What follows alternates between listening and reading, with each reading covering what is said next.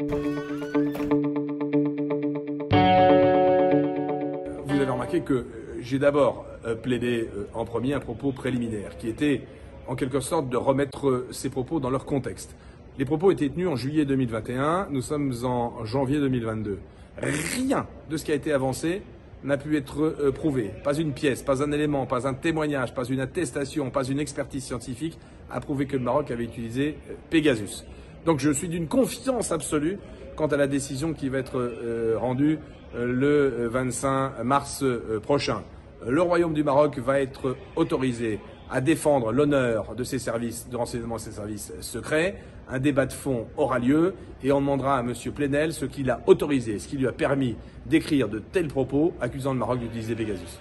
قبل ما تخرجوا ما تنسوش تابوناو في العشان يوتيوب وبارطاجيو الفيديو وديروا جيم وتابعوا الدار على مواقع التواصل الاجتماعي.